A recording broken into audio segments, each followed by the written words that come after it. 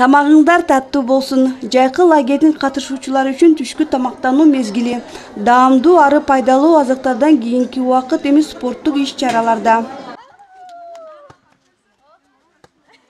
назгүл муратова лагерге баткен областынан келип катышууда.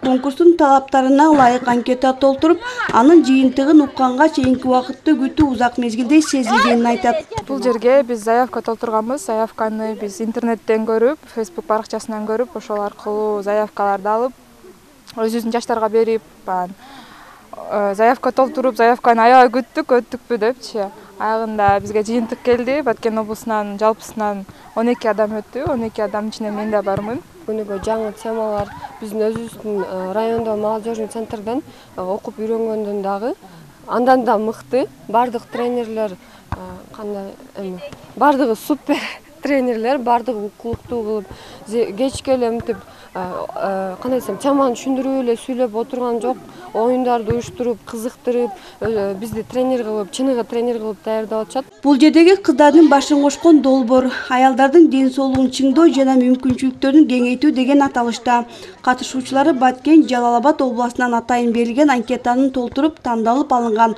Он төрт жаштан он жети жашка чейинки кыздар ишке ашыруучулар ар дайым жаштар менен максаттуу иш алып барууну колго алып коомго анын ичинде жаштарды жакшы жолго багыт берип келе жаткан жаш жарандарды өнүктүрүү коомдук фондусу беш күн аралыгында биз ошол кыздарга бир эле окутуу эмес практикалык аларды өздөрү дагы тренер катары даярданышып эртең булар жер жерге барышканда ушул бул жерде беш күн бою алган маалыматтарын өздөрүнүн курдаштары өздөрүнүн достору жолбозо мектепте классында тренинг катары өтүп жайылтышат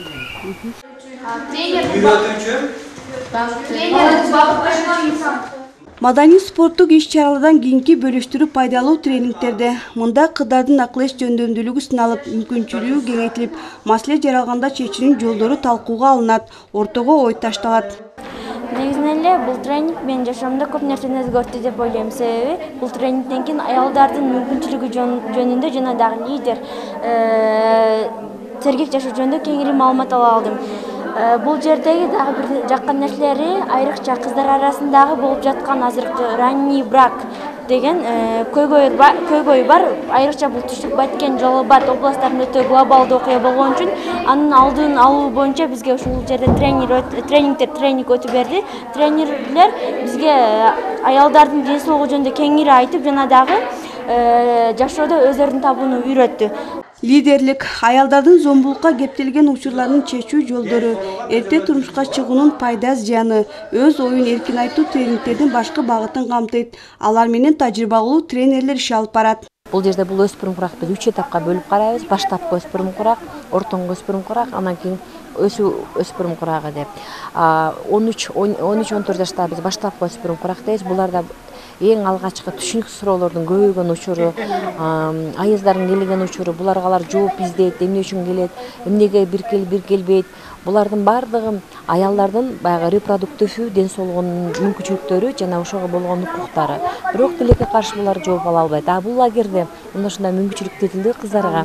Кыздар өздөрү дагы айтышты бизге ушундай ыраачылыгын билдирип кетишти эже дейт биз ушул үч төрт жыл беш жылдан бери ала албаган суроолорубузга бүгүн алдык лагердин максатына жетти деп ушинтип бизди кубандырышты беш күн аралыгындагы семинар мындагы кырк катышуучуну татыктуу тренер кылып тарбиялоону максаттаган. Алгачкы ойлор ишке ашты эми колдоруна сертификат кармаган катышуучулар жериндеги көйгөйлүү маселени чечүүнүн жолдорун ойлонуп таба алышат. Салтты колдонушуп азыр ала кетип атышат кээ бирлерчи аны билбей мен ал жерден отурбаганга аракет кылат болчумун. Ошо отурбойт болчумун деп ойлойм. Мен ал баланы көрбөсөм деле мынтип отурбойм да дагы бул жерден ага жаңы катары кайсы тема жакты? Мага жаңы катары лидерство деген тема жакты. Өзүбүздү кантип алып жүрүүбүздү? Кантип ар бир адам лидер болууга тийиш деп ойлойм. Анткени ал адам ал адамда ошол лидерствонун көп тараптары бар. Жана бул жактан аябай жакшы билим алып атабыз. Жакшы сабактарды өтүп атабыз жана жакшы темаларды сессияларды өтүп берип атат. Бул жак мага аябай жакты. Ошо келечекте мен да лидер болсом деп ойлойм эл аралык юсаид уюму улуу британиянын өнүгүү министрлиги каржы жактан колдоп жаш жарандарды өнүктүрүү коомдук уюму ишке ашырган долбоордун негизинде бирдиктүү иш пландар иштеп чыгуу аракети эми тегерек столдордо такталат. Гүлжан амандөева адилет нышанбаев базар коргон району